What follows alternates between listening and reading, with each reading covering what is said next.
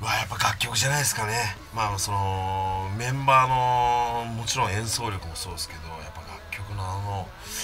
リフトあのビート感は僕は本当他のバンドにはないものだと思ってますからやっぱあそこが一番の魅力だと思いますね。スタン配信シングル「大人になれば」